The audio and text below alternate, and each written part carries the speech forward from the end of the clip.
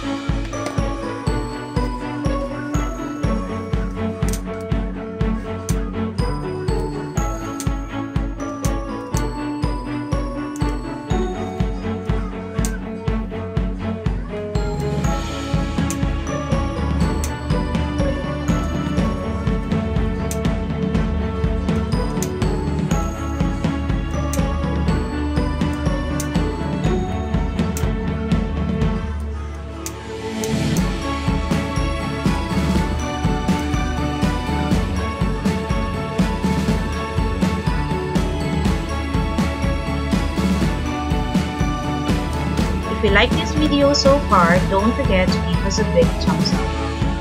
And if you are new to this channel, please do subscribe as I love to create content like this. I have a question for you guys. What else do you want to see on my channel? Please let me know or comment below so I can create the videos for you.